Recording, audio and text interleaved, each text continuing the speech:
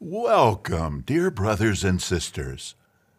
In this program, it's my pleasure to share reports about our in person activities.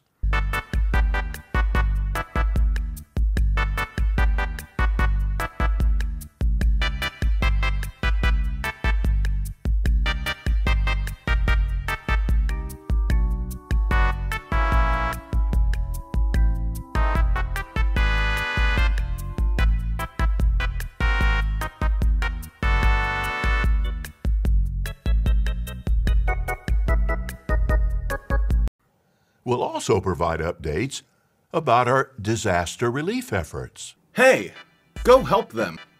Why don't you go help them? Obviously, I'm too busy to do it myself. Busy doing what exactly? Telling you to go help them. What exactly is it that you do? I don't see why this is so hard. I'm very busy telling other people to go help other people. Well, can you at least finance the project? Oh, God, you ask so many questions. Once you get there to help people, ask them to finance it themselves or ask the people around you if they'll help. And if worst case scenario, then go to the government and then you can ask them to help. So you're busy telling me to do something and you won't even finance it. Why do you exist? Jesus! And finally, in view of the rapidly changing world scene, we'll discuss the need for decisive action when we are confronted with dangerous circumstances.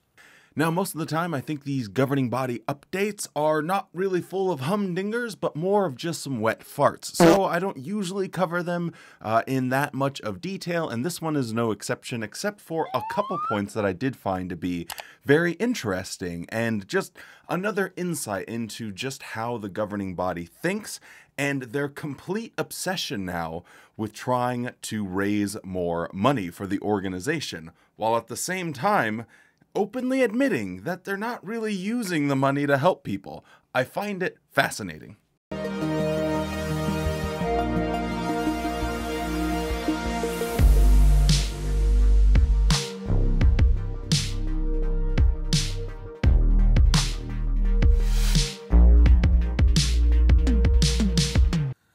Since September 1, 2022, we've resumed the house to house ministry. And we also had a worldwide campaign to offer Bible studies using the Enjoy Life Forever brochure. For those of you sad people out there that don't know, I mean, you must feel really bad about yourself not subscribed to the channel, not keeping up to date with what's going on. but uh, over on the uh, other channel that me and Alt Worldly do for our live streams, I have been going over how I have been having visits with Jehovah's Witnesses. Now, a lot of people have been asking how that's going, and I've been a little bit silent on that, but I can definitively tell you that next week I will have another update because I thought perhaps the saga was over but it appears the saga must continue. I absolutely have had a blast with those live streams. I think they're some of my favorite content that I've actually ever done, and it's been uh, really cool. So thank you uh, for everyone that's gone over there and supported and joined the live streams and watched those videos. But yeah, um, if you guys want to know exactly how the uh, the campaign went for starting Bible studies in September, some lucky Jehovah's Witnesses, the first door they knocked on in two years, decided to knock on my door, and we've had a hoot and a holler ever since. And a few ups and downs, but I think by the end of the saga, we will have a happy ending. Fingers crossed. Anyway, if you guys want to check those videos out, they're over on the JW Streams channel. Many honest hearted ones are responding to this good news of something better. Nope. We respect the individual decisions of our brothers and sisters on this matter. So he had a little segment here that I cut out uh, where he's talking about wearing masks. Now, I always crack up whenever they insert these little, well, we want to give you the personal freedom. Oh my God, finally. Finally, I can have some personal freedom. Watchtower has been suffocating me for my entire life, ever since I was born into the world. They've just told me where I need to be, uh, who I can talk to, who I can marry, who can I date, how can I touch myself. Like every single aspect of your life is controlled by Watchtower. And then, well, if masks aren't mandatory, then we'll let you make that choice yourself.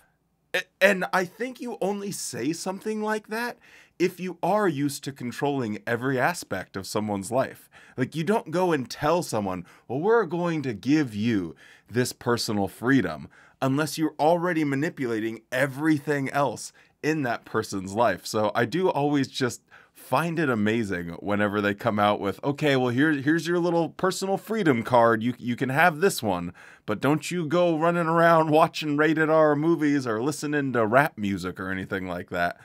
Oh my god, it's so funny. We're pleased to announce the release of a new video. It is entitled I don't give a about you or anything that you do. Our family and friends are precious to us. They show us love. They are there when we need them. So when we lose a loved one in death, we want comfort from someone who understands. God and His Son Jesus understand. While on earth, Jesus experienced the pain of losing family and friends. We need a black man, and if we can't find one, we need a white guy with a bad tan. After the death of a close friend named Lazarus, Jesus' grief was intense. He felt what others felt. The pain was crushing, yet his empathy moved him to comfort others. Still, he wanted to do more. So this video was designed to comfort people that are going through a difficult time. They've lost someone they deeply cared about, and here comes Jehovah's Witnesses ready to save the day and hopefully indoctrinate one more suffering person. And you're someone that is suffering, and if you are even having a conversation with the Jehovah's Witnesses, I'm assuming that you are a Christian as well and they come to you like, oh, we got just what you need, just what the doctor ordered, baby. And they show you this of uh, of Barbie Ken bronzered Jesus cosplaying with his friends in a dusty field. And look, he's fake crying. Don't you feel better now? A special magazine entitled Help for Those Who Grieve has been prepared to provide comfort. You can download your copy free of charge on jw.org. You cannot learn from books. Good. We also have some updates about our disaster relief efforts. As reported on JW News, Hurricanes Fiona and Ian have affected our brothers and sisters in the Caribbean and in parts of Canada and the United States. Sadly, one brother in Cuba died. Between the two storms, over 3,600 of our brothers' homes in over a hundred kingdom halls were damaged or destroyed the branch offices are working hard to provide assistance and spiritual encouragement. We continue to pray for all those affected by natural disasters and for all those who are providing relief. It is interesting how he says people that are doing the relief work. It's almost like he's differentiating what they're doing. Well, we're offering assistance and our prayers. To a governing body member, their prayers could be considered assistance. Hey, make sure you donate money so we can take some time out of our busy schedules and pray for you guys. But that to one side, why are they so quick to give you the numbers? Here's how many kingdom halls were destroyed or damaged. Here's how many brothers and sisters. Here's all the places they were from. And yet they never can give their own numbers. Watchtower, please. All we want to know is where this money is going. Tell us, like, and show us the receipts. We bought X amount of building material. We hired a, a, construction company because we didn't have enough hands on deck. Like, what did you actually do? And please let us know if then you're asking or demanding that those people, once they get their insurance checks, pay that back to you. Uh, we want to know the numbers because then you're just using free labor and then getting that insurance money back. So it's actually profitable for you to do this disaster relief work. We want to know the facts. Stop hiding behind, we provide assistance and love. Stop hiding behind that crap and actually show us what you're doing. Because I promise you, if you want to be a respected organization that does charitable work, you need to provide these details or else you look like a freaking clown. It's encouraging to hear how so many are working hard to help our refugee brothers get back to a more normal life. And we're so proud of our refugee brothers for being flexible and for having realistic expectations.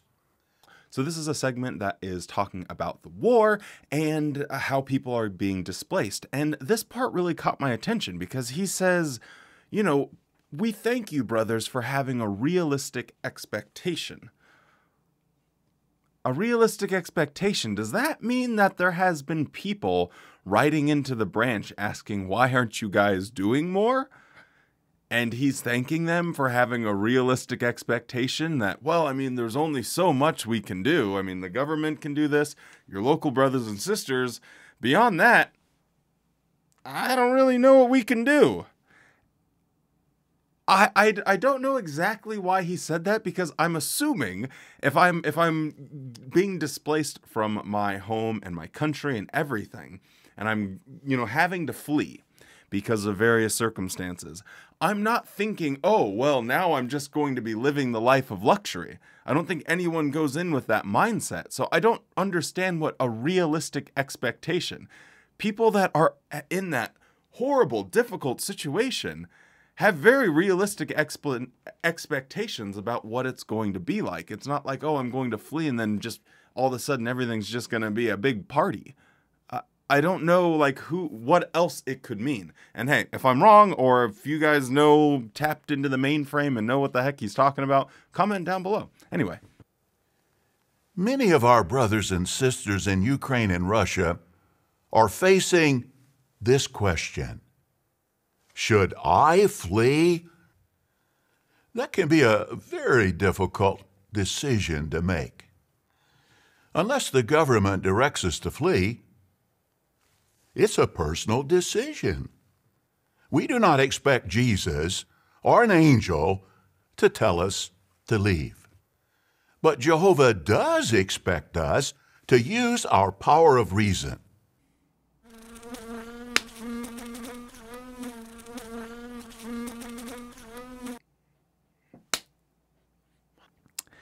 I found this to be really strange, and I don't really get it. God, Jesus, the angels are instructing the governing body to give direction on the most mundane things you can possibly think of, and the most serious, life changing, life threatening things you can imagine. It, it, it, from the blood policy all the way down to using their suggested presentation. All of this is supposed to be God's direction. Why wouldn't it be God's direction then for how someone can keep them and their family alive and safe during a war? That's would that would appear to me to be something pretty significant why wouldn't he give them that sort of instruction? That seems like it would be quite helpful. Now, in my mind, I think do the governing body recognize that they're just some goofy guys that live in New York and they shouldn't be commenting on this? They just need to keep their mouth shut? Have they been getting letters uh, from the the branches in this area. There's that Nat. He's back. And from the brothers and sisters in that area saying, "Hey, what should we do? What should we do? We need to get God's download here. What what is God's instruction?" And they're just like, "Yeah, we're not to we don't want to tackle this one." I don't really get it, but I do find it interesting how at the end here he's like, you know, he's not going to tell you what to do, but he wants you to use your power of reason of all the people telling uh, their followers, use your power of reason. I, I hope that every person that's a, a physically in, mentally out Jehovah's Witness just absolutely cracks up when they hear this because they're like, my power of reason told me that you're a buffoon and that I should stop listening to you and not going to allow you to control my life anymore. If anyone used their power of reason and applied that to any of Stephen Lett's talks, they would immediately just be like, well, looks like I was raised in a cult. Time to get out. What's the next step? I find it so funny because they don't want people to use their power of reason. In the last uh, September broadcast, he was showing people how they shouldn't use their power of reason. Don't even look at the uh, apostate things or any negative media information. It doesn't matter if it's from the news source, that's all negative. You are not allowed to use your power of reason when it comes to reading a news article. Now, if you're asking for life advice, if you're trying to say, hey, I want to do what's right in God's eyes, I want to know like what decision he's going to bless and you know there's my life is about to change dramatically because of where I live and there's a war happening and I don't know whether me and my family need to get out. Something extremely important. And uh, what does he come up with? Well, we're not going to make that decision for you. It is absolutely crazy that they will make the decision for you on what news articles you can read. And they won't help you when it comes to such a life altering decision that you and your family are faced with. Being prepared allowed them to make the personal decision to leave quickly when they saw the danger. Ahead of time, they obediently followed the direction to have go bags and a full tank of gas in the car. So, on God's list of priorities, when He is giving direction to the organization, He's not going to give them direction that would I don't know, save someone's life, say if a natural disaster was was coming or there was going to be some unforeseen circumstance. Hey, don't leave the house this morning, pal. No, he won't give you that direction, but he will give you the direction to have a tank of gas and a go bag ready to go. So we see that relief work is sacred service. It is a vital part of our ministry. We often say thank you, but we want you to know how very much we appreciate that you are generously supporting our relief efforts. You're providing food and rebuilding homes and kingdom halls. When refugees come, you're welcoming them at border crossings and into your homes. You're helping our brothers rebuild their lives and provide to them what they need. All of this is greatly needed and deeply appreciated. And as per usual, with a governing body update, we're left with more questions than we did get answers. But hey, we're here for it. Thank you so much for joining me, and I will see you next time.